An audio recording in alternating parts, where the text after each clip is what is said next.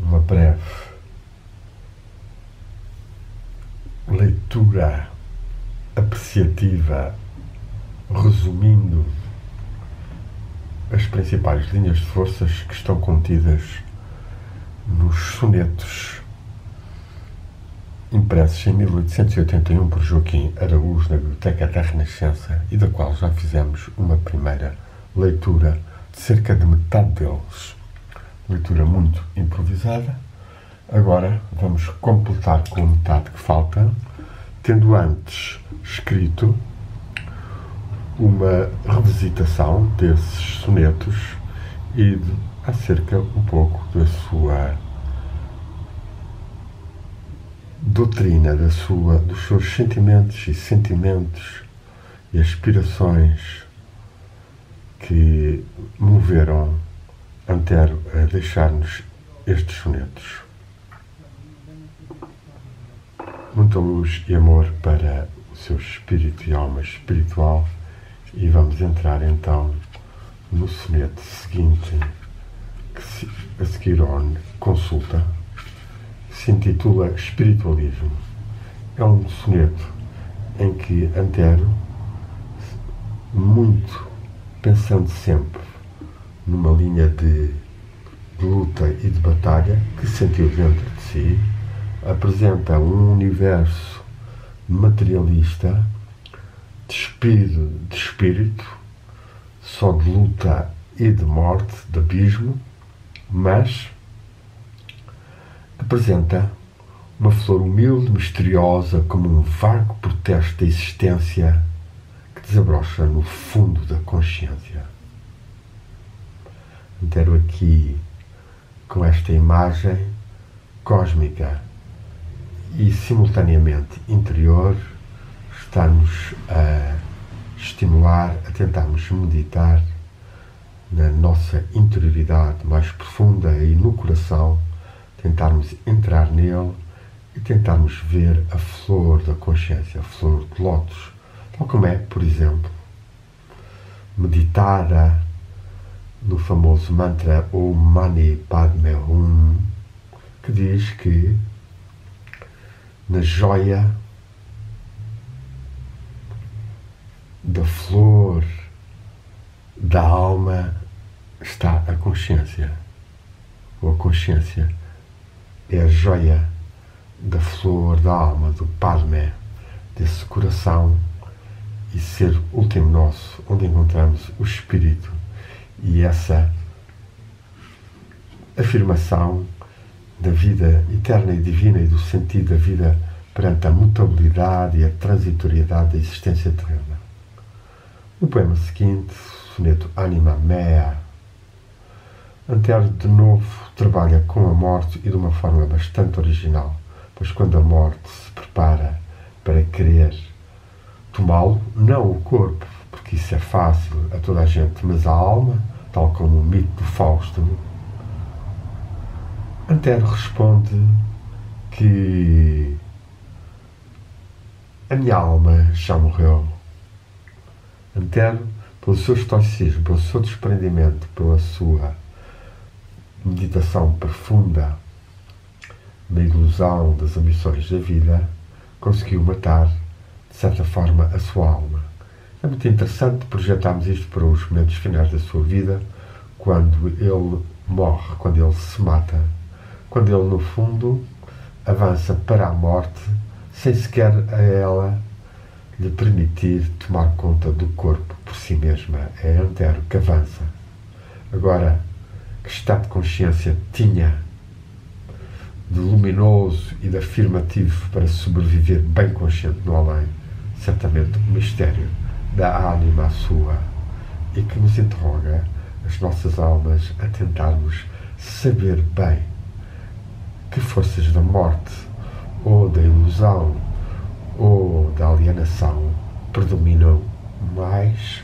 ou se realmente matamos essa parte da alma, extinguimos-la, como a tradição sufi fala de fana, e atingimos um despertar da realidade do cosmos e de nós próprios. No soneto seguinte, estoicismo, Antero refere de novo esse espírito eterno de negação e que lhe gela o coração e que destroçou-me da alma as primaveras.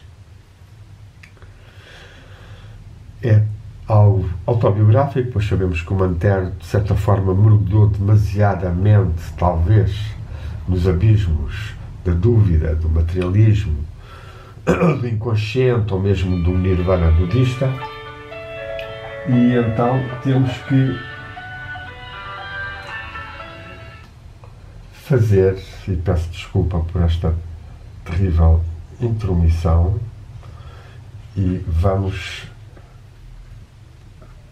continuar a leitura e comentário. Porque te suspiras, porque te lamentas, cobarde coração, de balde intentas opor à sorte a queixa do egoísmo. Deixa aos tímidos, deixa aos sonhadores a esperança vã, seus vãos fulgores. Sabe tu encarar sereno o abismo. Aqui Antero tem claramente uma atitude estoica de não estar assente em esperanças falsas ou crenças e saberá aceitar com estoicismo o que vier. Assim terá entrado no além com o seu estoicismo. No soneto seguinte, dedicado a Gonçalves Crespo, convertido, eu estou a ser mais breve nos comentários, já que fiz um resumo por escrito que está no blog Peter da Mota e que ficará junto a este vídeo. Antero afirma com uma certa ironia que um dia se sentiu pecador e com necessidade de se arrepender, o coração contrito, obrigou a alma triste, depois de ter chorado até a virar-se para Deus. E conclui com o terceiro final: amortalhei na fé o pensamento e achei a paz na inércia e esquecimento. Só me falta saber se Deus existe. Aqui há não só uma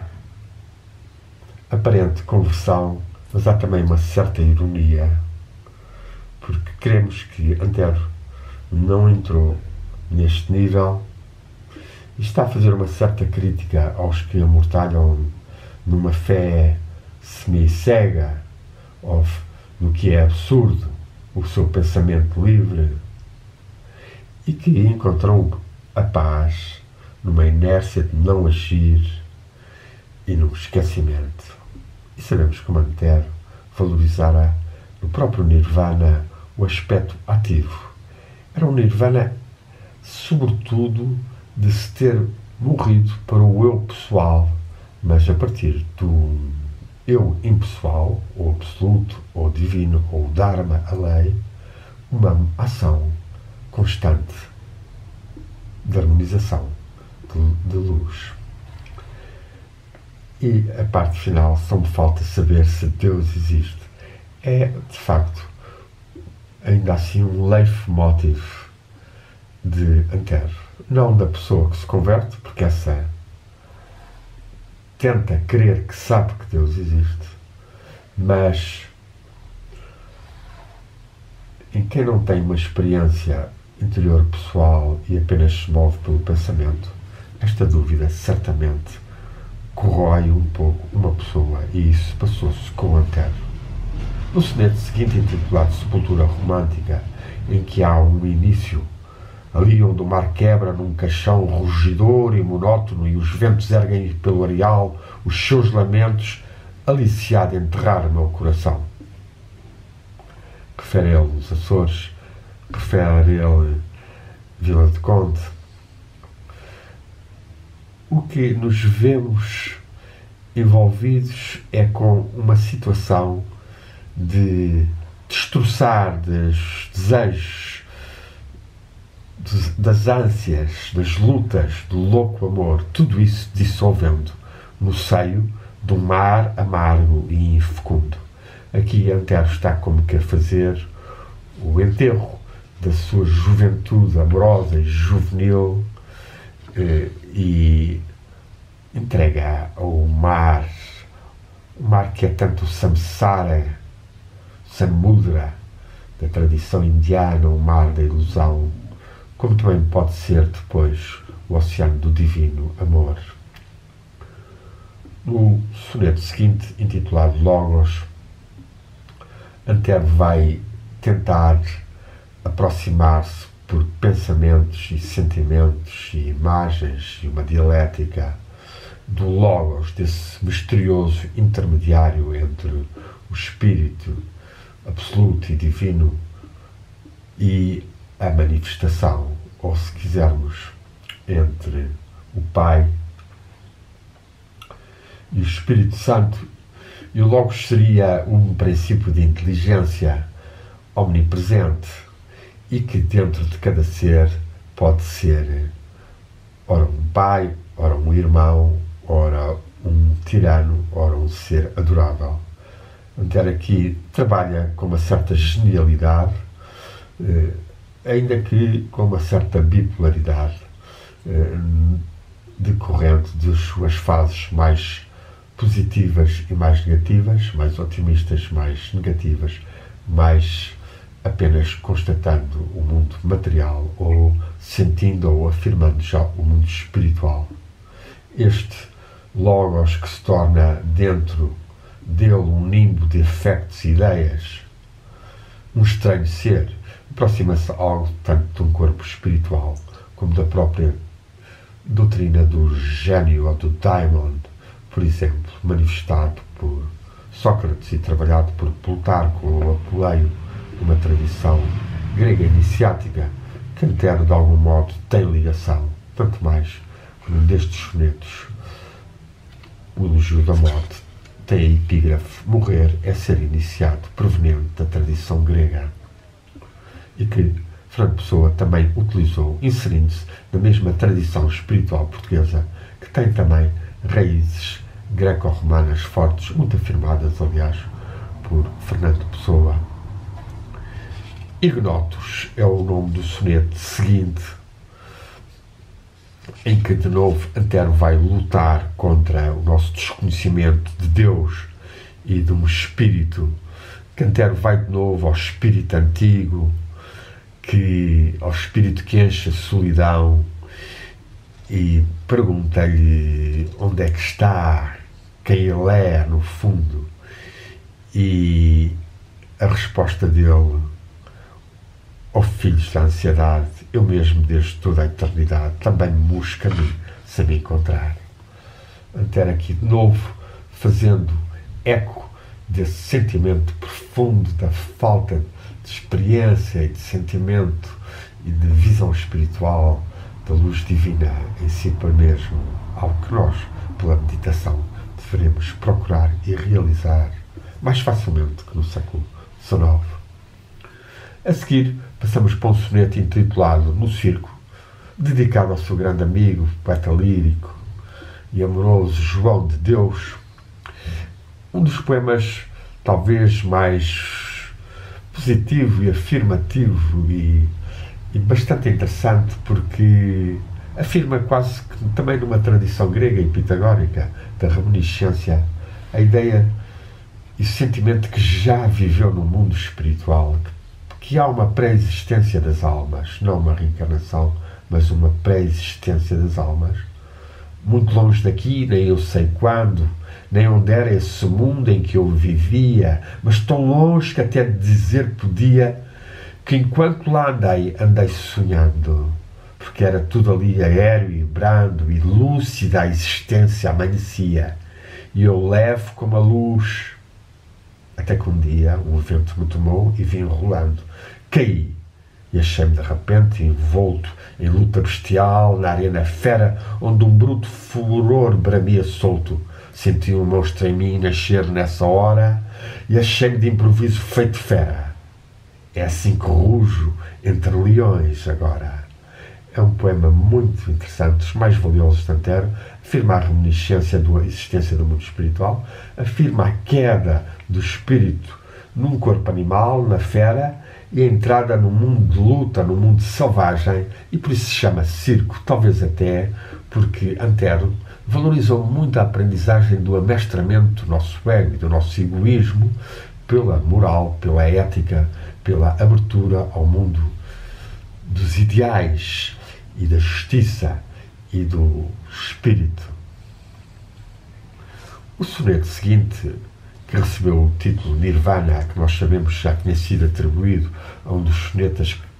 que está no Elogio da Morte, conta-nos uma experiência espiritual para Antero algo especulativa do que poderia ser o universo, no qual, além deste universo manifestado, existe o ser inerte, ocioso. E quando o pensamento consegue chegar até esse nível, para além das manifestação das forças dos desejos e da vida, e toca nesse vácuo tenebroso, nesse vazio, quando ele torna a olhar as coisas naturais, ele vê com tédio quantifica a ilusão e o vazio universais. Quenter está certamente a especular neste penúltimo soneto sobre o Nirvana. Esta experiência pode tê-la tido em parte pelo pensamento e por alguns momentos de entenebrecimento, de um certo pessimismo, mas de facto, quem atinge o não ser absoluto, eh, esse ou não volta ou traz uma tal radiação que não se compadece com este tédio, porque são duas faces da manifestação a que está manifestada e a que não está manifestada e são complementares. E se alguém já atingiu esse estado primordial, certamente que viverá com a energia divina que emanou desse não ser, a divindade e as individualidades e o universo com amor e sabedoria e viverá nesse amor e sabedoria. E o Nirvana é mais extinção do dos desejos ilusórios ou egoístas ou que nos afastam desse estado de unidade, da realidade, da unidade da existência que é vivida aqui também na Terra, no mundo relacional, a partir de uma irradiação de amor e de sabedoria criativa, corajosa, ativa. O que, aliás, Antero afirmou mais nas suas prosas do que nos seus sonetos. Nos sonetos, Antero muitas vezes exprime mais os seus sentimentos, o seu isolamento, as suas lutas, e é na prosa, nas cartas riquíssimas e até nas tendências gerais da filosofia e no seu ensaio sobre a filosofia dos naturalistas que vai conseguir, a filosofia naturalista, que vai conseguir descortinar melhor essa presença do Logos ou de um panpsiquismo ou de uma presença espiritual e até divina no universo. Transcendentalismo é o último soneto, dedicado já a Oliveira Martins, no qual Antero vai fazer uma criação de um estado transcendental, um estado de transcendência em relação ao mundo da ilusão, vivido em luta que foi feito, com ânsias de mocidade que também não conseguiu satisfazerem o seu desejo intenso, o seu amor, e é só, não é no vasto mundo, por imenso, que ele pareça a nossa mocidade, que a alma sacia o seu desejo intenso. Na esfera do invisível, do infangível, sob desertos vácuos, soledade, voa e paira o espírito impassível. Assim termina a edição dos sonetos, impressa por Joaquim da Luz, na Biblioteca da Renascença, em 1881, e que tem nesta parte final um certo questionamento voa e paira o espírito impassível. Está Antero a falar do espírito absoluto que paira e voa sobre na esfera do invisível e intangível, ou está ele a admitir que o nosso próprio espírito, tornado mais impassível, tornado mais desprendido do seu ego, consegue voar e pairar. A ser este caso, então este poema está perfeito. É um poema interessante porque, penetrando de confronto, não enxuta no sacrário do templo da ilusão, só encontrei com dor e confusão trevas e pó, uma matéria bruta. Uma visão aqui negativa, mas que noutros poemas, noutros sonetos, nós sabemos que Antero consegue ver que, apesar de toda a luta e das alturas a que chegou, ele consegue ver o amor. Aqui, em 1880, quando o escolhe para o fim, ele vê mais a voar e a pairar o espírito impassível. E é para ele que ele aspira no seu estoicismo, face à sua doença corporal e psíquica, que o enfraquecia na vontade e que o, de certo modo, tornava mais propenso a não irradiar tanto o amor que sentiu poderosissimamente enquanto jovem e que ainda em 1876, quando teve nas termas francesas, sentiu por uma mulher já separada ou divorciada francesa e que despertou nele a chama do amor que nós vimos aqui representado, pois foi escrito nessa altura, Morse Amor, no soneto, um dos primeiros sonetos, em que um cavaleiro de expressão potente, formidável, mas plácido no porte, vestido de armadura reluzente, uma aura poderosa, diremos nós, cavalga a fera estranha sem temor, e o corcel negro diz: Eu sou a morte. Responde o cavaleiro: Eu sou o amor. Sejamos então, face a todo tipo de mortes que tenhamos que atravessar na vida ou encontrar, sejamos o amor triunfador. O amor invictus do Espírito e da divindade em nós e da comunhão com os antepassados e amigos, tal como Antero, os guias e mestres, os anjos e a divindade em nós. Temos graças profundas a Antero que